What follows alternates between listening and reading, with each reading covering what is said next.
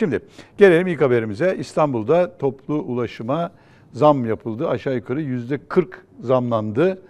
Haberi izleyelim. gündem konusunda Barış Bey size sözü bırakıyorum. Buyurun lütfen. Ee, Yaklaşık yüzde 40 oranında bir e, düzenleme öngörerek hazırladığımız tablo.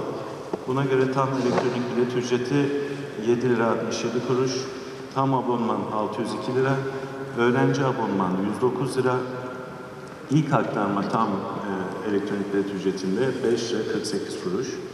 Sarı taksi açılış ücreti 9 lira 8, 80 kuruş. Sarı taksi kısa mesafe ücreti 28 lira. Minibüs indi bindi ücreti 5 lira 25 kuruş. Okul servis ücreti en kısa mesafe olan 0-1 kilometre için 554 lira. Personel servis ücreti de 10-17 koltuk kapasiteli taşıtların ilk kalkış ücreti olan rakam 295 lira. Taksi dolmuşlara bir örnek e, koyduk. D35 Kadıköy Bostancı hattı 7 lira 25 kuruştan 10 lira olarak güncellendi. Tabloda görünmeyen diğer tarifelerde yine bu e, hesaplanan oranda güncellenerek e, fiyat tarifesine yansıyacak. Bu doğrultuda bugün alınacak kararın ulaşımda hem İstanbul Büyükşehir Belediyesi hem esnafımızın hizmetlerinin sürdürülebilirliğinin sağlanması açısından önemli olduğunu ve bir mecburiyet içerdiğinin altını özellikle çizmek istiyorum. Bu doğrultuda önergeyi geldiği şekilde oylarınıza arz etmek istiyorum. Kabul edenler, etmeyenler önerge Sayın Başkanım, hayır yok. Hepsine Hepsine gösterilmeyen birimlerde hepsine yüzde 40 oranında zam yapılıyor. Tamam, teşekkürler. sağ olun. Hızlı bir okuma gerçekleşti. Evet çok güzel bir ukame oldu e, ve çok kısa oldu. E, daha önceden mutabık kalınması sebebiyle e, mevcut enflasyon durumlarında göz önüne alarak yüzde 40 bütün e, kademelere zam yapıldı. Bu İstanbul için iyi, Büyükşehir Belediyesi için de iyi bir karar. Tabii olması gereken yüzde 50 ve üstünde idi ama bu da bir e, iyi bir gelişme olarak değerlendiriyorum. Evet çok hızlı bir ukome oldu, gerçekleşti. Evet biz de beklemiyorduk. Ee, böyle iki dakikada e, bir uzlaşmaya varıldı. Esnafımızın istediği bir zam değildi ama İstanbul halkını da düşünerek en azından mazot paramız çıksın diye biz de bu işe razı geldik. Sadece e, inşallah e, dünyadaki gelişmeler düzelir. Belki mazot fiyatları düşer, yedek parça düşer. En azından bu geçiş sürecinde ayakta esnafın ayakta kalabilmesi için sadece bir ne diyelim can suyu diyelim buna. Biz her zaman söyledim. Biz esnafız, partili değiliz. Partici değiliz. Biz esnafımızın haklarını savunmak için elimizden geleni yapıyoruz. Bunu herkes böyle bilsin. Biz ne hiçbir partinin lehine, aleyhine konuşmayız. İstanbul Odalar Birliği Başkan Vekili olarak esnafımız Şimdi gelelim soralım bakalım. Ne oldu bir günde de e, karar değiştirdiniz ha? Şimdi dün konuştuk burada değil mi? E, saray talimat vermişti bu e, zevata. Yani kendi memurlarına işte askerler, maskerler, polisler onların hepsine saray talimat veriyor. Belediyeden gelen zammı kabul etmeyeceksiniz. Aradan 24 saat bile geçmiyor. Sabah alelacele toplanıyorlar panik halinde. Yapalım abi zamları. Ne, ne oldu? Başınıza taş mı düştü? Mesela birinci ordu komutanına bir daha soruyorum. Çağırıp soruyor musun kardeşim o buralarında yıldız olan subaylarına? Ya arkadaş siz nasıl bir karaktersiniz böyle? Dün ne oldu da zamma hayır dediniz de bugün niye zamma evet dediniz diye soruyor mu acaba adam? Ha? Ama demokrasiyi öğrenecekler, cevaplarını verecekler bir gün mutlaka.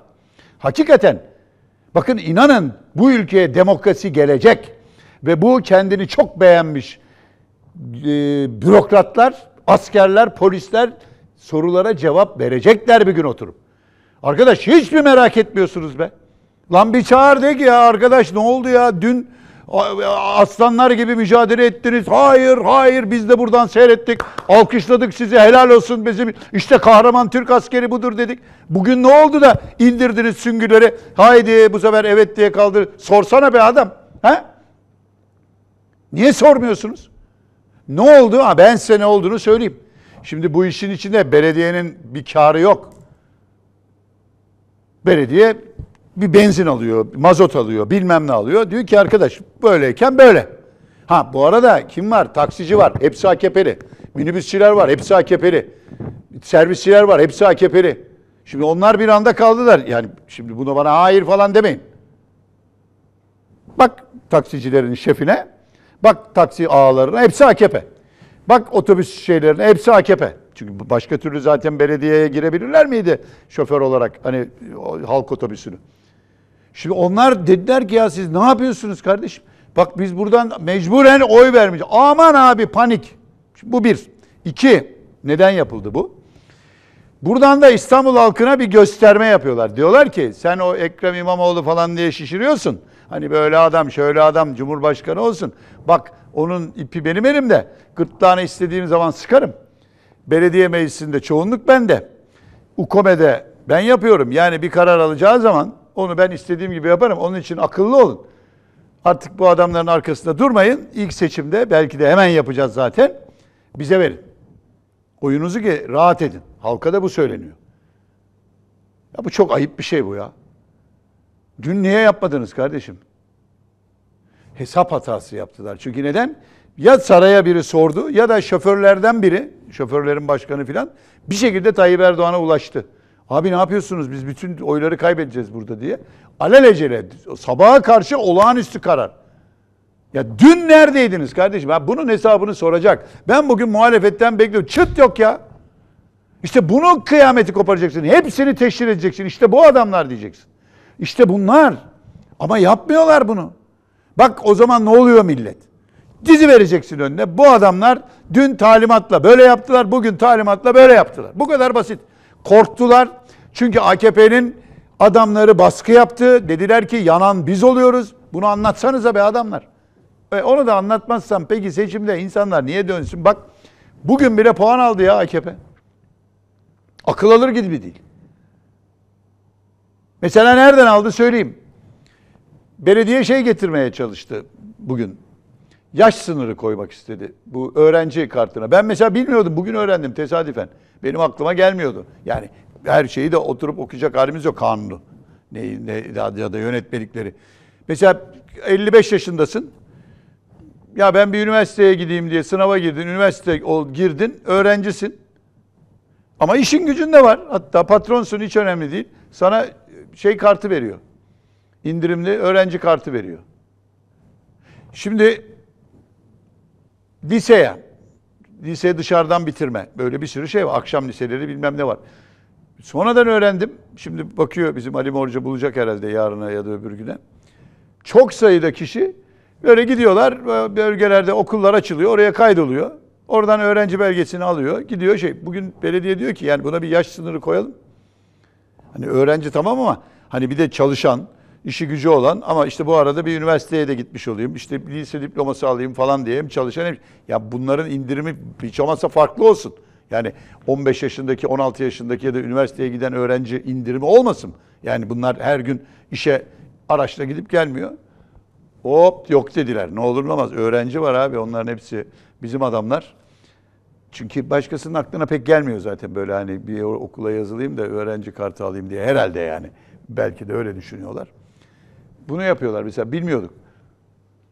Şimdi ne oldu? Öğrenciyi de koruyan AKP. Efendim AKP'lilerin talebi üzerine zammı yapan da AKP oldu. Onları rahatlatan. E zaten İstanbul halkı bu arada hazırlanmış durumda. E adam da görüyor kardeşim yani 80 liraya sivri biber satılan bir ülkede bir depo benzinin 1200 liraya dolmaya başladığı bir ülkede hani araba taksi fiyatları bilmem ne bununla gitmez değil mi? Herkes de zaten farkında. Onun için yani ulaşıma yapılan zamma insanlar sadece ceplerinden çıkana tepki gösteriyorlar. Niye yaptın diye tepki göstermiyor. Zaten hiçbir şey göstermiyoruz ki. Çünkü her şey önümüzde görülüyor. Bir iktidar var. Helal olsun yani. Çok güzel götürüyorlar işi. Ekonomi muazzam. Nebati diye bir adam. O da diyor ki kur bilmem ne çok güzel cillop yaptık her şeyi. Yaptın da fiyatlar 3 kat 4 kat arttıktan sonra e şimdi bana bak göreceksiniz Mayıs ayında. Enflasyonu nasıl düşürdüm ama diyecek. Bak yüzde 0.2. E öyle olacak tabii. E ne olacak yani ekmek 20 liraya mı çıkacak? Ha o günler de gelebilir bak. Bu kafayla giderlerse gelir. Neyse gelelim tabii sadece toplu taşıma değil şehirler arası ulaşıma da zam geldi. Ee,